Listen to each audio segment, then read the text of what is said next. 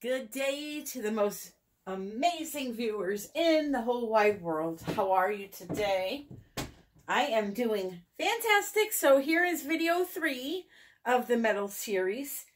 I do have a color in here that would probably not be considered metal because I don't think graphite is a metal. I think technically it's a like slate stone. Listen, be happy I know how to pronounce the name. Anyway, so I wanted to do a sterling silver Dutch pour, but I needed to come up with a few shades similar to it because I have a very, very hard time. Silver in acrylic painting is my enemy. In resin, yellow is my enemy. So I'm going to conquer this and we're going to have some fun doing it. So I have the colors mixed up. I'm going to explain really quick what they are. And I want to show you something that I found and I am in love with. I found these on Amazon. Now, I know a lot of you probably know what these are, but I didn't know they made steel aluminum um, push pins they are 3 eighths of an inch of the steel point. So that's the, the pointy part, the sharp part. And then an aluminum head. And let me tell you something. These go into the wood like a dream. So I added them to my Amazon shop. You will not have to buy push pins probably for a very, very long time with these. I use the plastic ones from the Dollar Tree and they snap constantly when I'm trying to hit them with the hammer. So I was so happy to find those. Anyway, I'm using Deco Arts Sterling Silver. I've put all of this stuff into my Amazon shop. I have Deco Art in the color called Tin, which is a metal, right? And then I have the Iridescent Graphite by Liquitex. For the cells, I'm going to be using Carbon Black by Golden with some Floetrol. And I decided not to mix it because I want to mix it really quick with you guys so I can show you how I do this. Because, again, I'm using the Bloom recipe.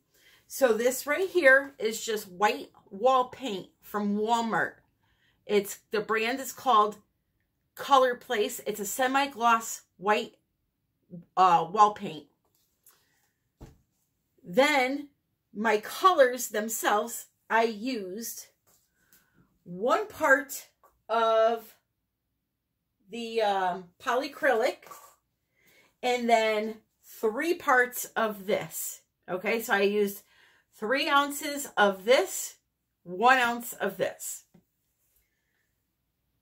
Then I put a couple of squirts of paint in there and you can see the consistency. It's thick. It's going to be thicker. So this white uh, white house paint does not have water or anything. It's straight out of the can. That's the consistency of it. It's a little bit of a thinner house paint as far as the house paints go. So that's that. The colors and the, the base that you pour on. So now let's do this. This is just Floetrol in a cup that I strained. What I do to make sure my consistencies are the same is I mix the colors up, okay? And I make sure that those colors are the same consistency as this. Then I will do the Floetrol in black last so that I can make it be the same as the colors in that. If I do this first, this may come out thinner than the rest or thicker than the rest. So I always do this last. What I do, I'm not going to measure. I'm just going to squeeze in a good amount of black. So that's probably a heaping tablespoon of black. And then what I will do is add a little bit of Floetrol at a time Okay, first, because this is a heavy body paint. And if you go and dump all of this in there, it's going to clump up. So you want to make kind of a paste. So I do that first. And you can see, see how it gets all coagulated and clumpy looking? So I'll beat it in there really good. So now it's nice and smooth again. And then I will add a little bit at a time. And this is Americans, America's version of Floetrol, not Australian. And this is all I put in here. I don't put any wood conditioner. I don't put anything. And I'm slowly going to keep adding the Floetrol in until I get to the consistency of those other paints. This way, everything is the same. And the reason I do it in that order is because the house paint we're not doing anything to. So that needs to be the consistency that you match all of your other items to. So you put that in the cup first, see what the consistency of it is, and then you make your colors to match that, the house paint, and you make your cell activator match your colors, and then you're all good. So I'm going to pause the camera. I'm going to keep adding this in. I'm getting close. You can see it's starting to, to loosen up good now. But I don't want to bore you with all this mixing. So, and I could tell you right now, these are three ounce cups. So I had about two ounces of Floetrol to a tablespoon of paint. And I think that's going to, uh, probably like a heaping tablespoon. And I think that I'm going to be using all of it. And it's going to be perfect. So again, that was a heaping tablespoon of paint. Heavy body paint. Now this is based off of the items I am using. If you go out and get Artist Loft and do this, it's not going to be the same consistency. It is very important, especially with this bloom recipe, that you find a recipe that works and stick to it until you're good enough at creating these paintings. Then you can venture off and try different products. But find somebody in your area. United States, you have me. You have uh, Jenny Post. In Canada, you have Canella. In Ireland, you have Erica Hughes. I'm sorry, Canella Sirocco in Canada, Erica Hughes in Ireland, and um, who else do we have? Saskia Smith in the Netherlands. So there's there's tons of, and there's more than that out there now. Like everybody's doing this. So find somebody in your area, find those ingredients, and stick with them. Trust me, until you get it down and practice on small little tiles until you get it down. Then you can venture off and try whatever you want. All right, so what I've done is I've put down the white and see, this is where I need the cool editing knowledge. I am working on it, but cue in the Jaws music. You guys know what that is? Dun -dun, Dun dun dun dun dun dun Look what I got! A mini blower. Yes, indeed. I finally got one. Broke down and got it. I'm going to use that for the little parts that I can't get with a blow dryer. Um, I originally, I saw that on Canella Sirocco's channel. Uh, she had saw it on somebody's channel and used it and I just, I just loved it. It's so cute. So, and let me tell you something, this little sucker blows really good. I mean, you push the button, it stays on. The only thing is, is it's got a cord and you have to have it plugged into a USB port. If you don't know what that is, that's this guy from your phone charger or a computer, the little plug on the side. So, of course, something fell in my paint now. So, that's the only thing that I don't like about it, but hey, it is what it is. If it had to have a cord, I wish it was just a regular plug to plug it in, but it was 15 bucks, so I'm fine with it, and we're going to have some fun. So we're going to start right now, I promise. Enough jibba jabba. All right, so here's how I'm going to do this. I'm going to put down the iridescent graphite first. I want to do dark, lightest, and then, um, no, you know what? Maybe I'll do dark, medium, and then lightest. Yeah, that's what we'll do. I was going to do it opposite, but we'll try this way. So, just right down the center like so. Okay. Now you don't need much paint when you do it this way. Um, there's the Floetrol that I mixed up. So it's like this. Oh, what was that? It's about the same consistency as, uh, well, it is pretty darn close, put it that way. Got a lump of something in there. All right, so that's that one. This one is uh, the tin.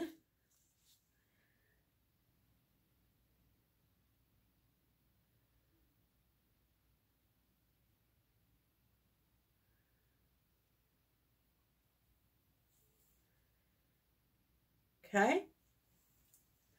This is the sterling silver.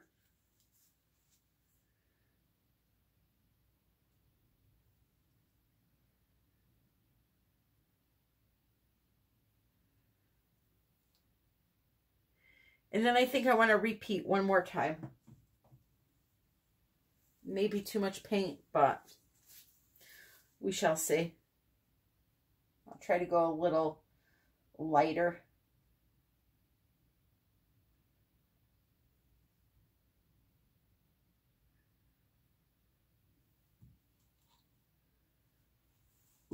So that's the iridescent graphite. 10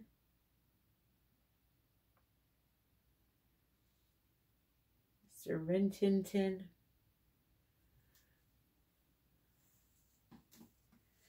and sterling silver.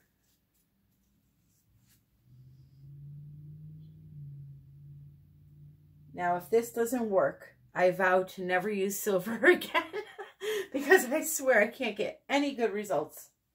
All right, so just like I did yesterday. I think I'm going to do the same thing. I'm going to put the black only in certain areas. So, for example, right here is I'm going to blow upward. I'm going to put it right there.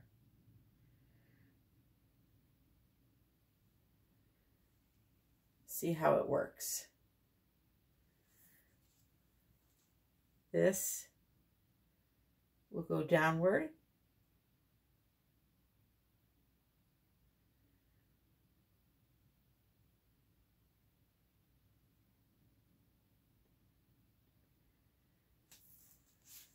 So I'm covering my areas here.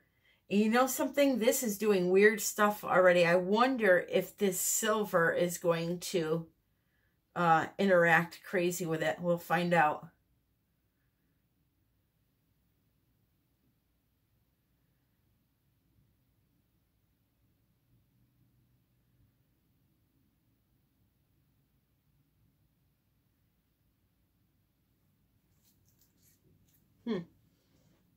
Oh, that looks really weird.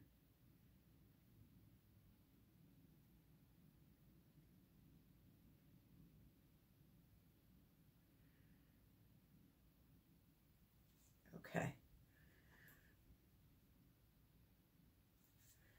I'm going to add a little bit more here.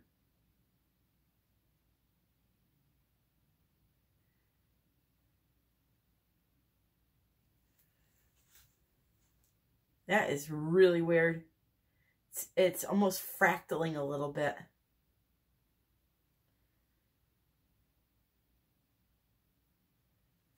Just want to make sure I have enough black. Probably overdid it, but we shall see.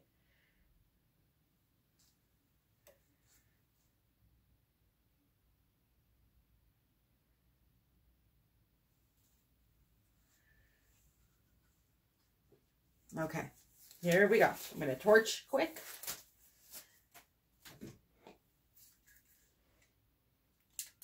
Oh yeah, that is weird. that is very weird. Of course, I had to get a little tiny bit of black down there.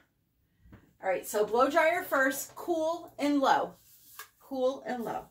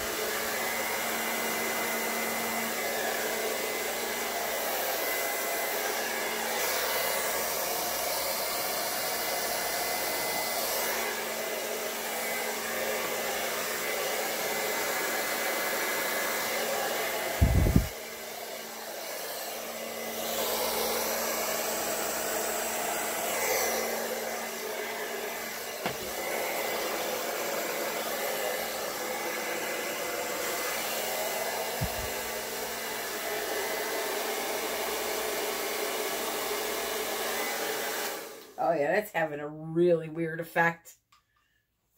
Very, very weird effect. All right, so let's get our little mini blower going and see what we can make here.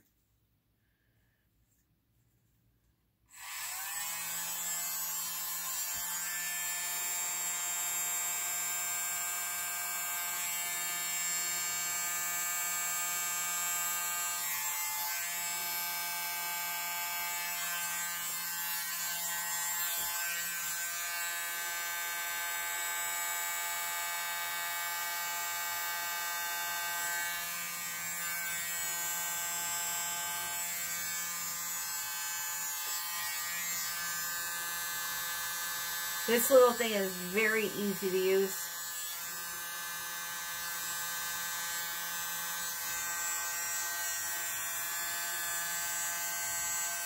I know when Canella did hers, she used this, not even the blow dryer. This is a 12 by 24 though, and I was worried uh, because of its size that it would just be uh, too much for this little thing. But maybe not. Who knows?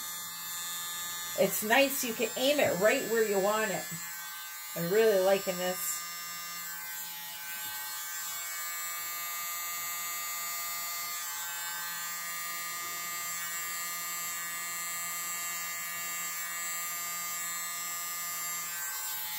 Very nice.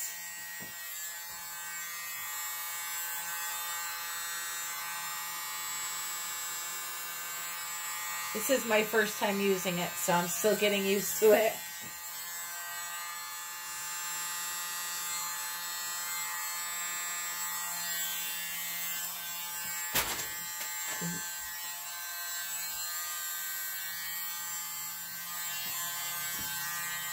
Composition is different, that's for sure. But I'm okay with that too.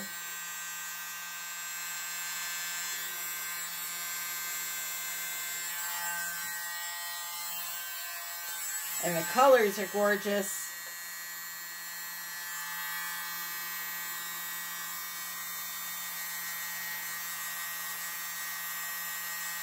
Oh, I love this little thing. I'm going to be in trouble.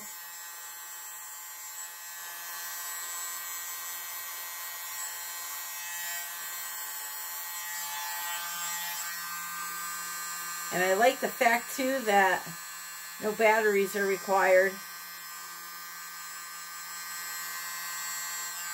These are really meant for to blow out your keyboards and stuff. But you know how we roll. Everything's for art.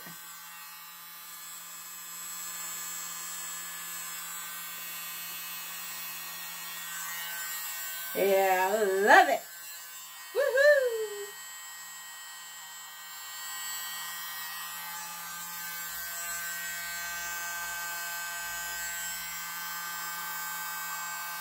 I just like the non-traditional look that I'm getting, blowing the colors this way, you know, something different. Yeah, look at those cells popping up too. Those paints are loving each other. All right, I'm almost done, guys. Promise.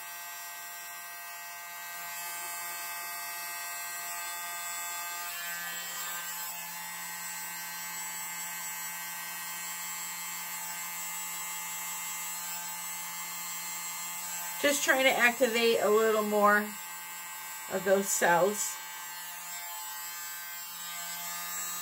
Sometimes if there's some of the Floetrol under there, it will work if you get nice and close.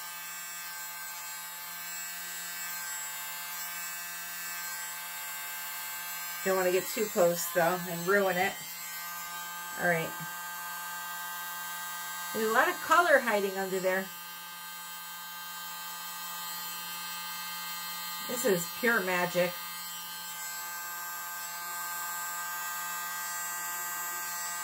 And I can hear you guys probably screaming, stop! uh, I really need to do something right here, but I don't think there's any paint under there. Let's, well, maybe there is. Maybe I'm wrong. Didn't look like there was.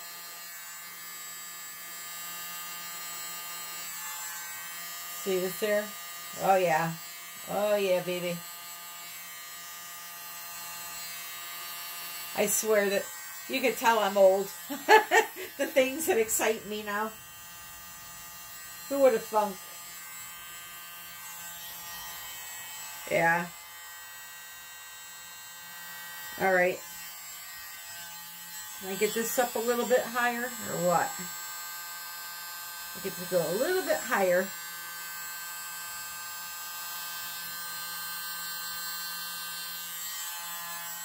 I'm done. I think that, uh, hold on. I just want to, I saw this one going over the edge, so just want to have a couple of them flow over or something here.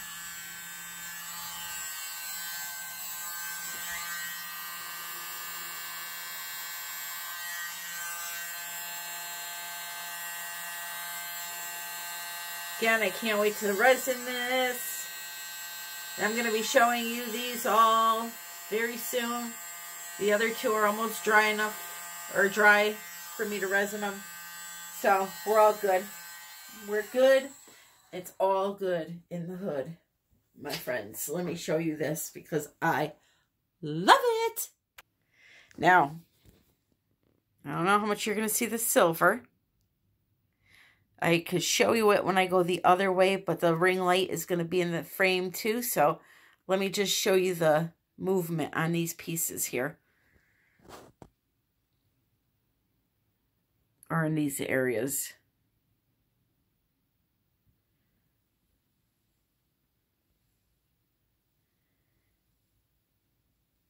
I really love the way that black is outlining things.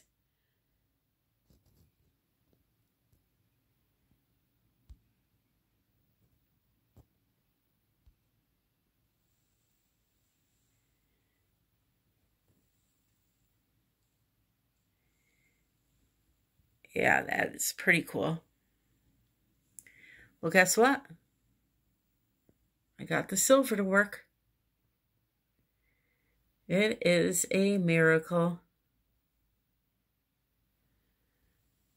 This is a big painting. Hold on a second. Get over here. This is a 12 by 24 gallery wrapped canvas. Um, I'll have to fix up these little splatter marks there. that's no big thing. Look at that area. Oh my God, I love that.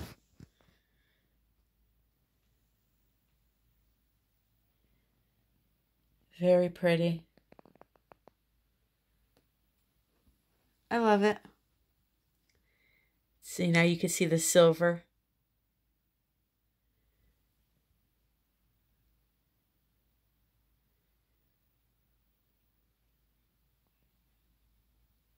There you have it, my friends. So, if you're interested in this piece or many of my other pieces, I'm going to put a link at the end of this video. You can click right on it. It'll take you to my Etsy shop. This won't be in there today, but if you're interested in it, you can email me, art by Tammy at yahoo.com. Uh, the Amazon influencer shop link is down there for the products that I used. I have coupon codes and all that. So uh, that's it, I think. Oh, and my Facebook group, if you haven't joined already, please do. It is United We Pour with Tammy and Lisa. And there is a link for that in the description also. And uh, I hope you guys all have a great day.